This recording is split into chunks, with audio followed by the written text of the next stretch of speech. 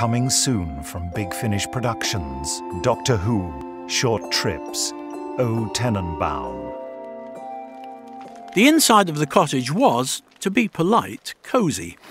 It seemed to be just one room with a set of stairs leading upwards in the corner.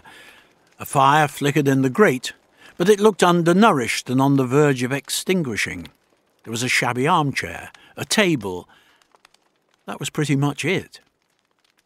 Offsetting this shabby decor was a splendid Christmas tree in front of one of the windows.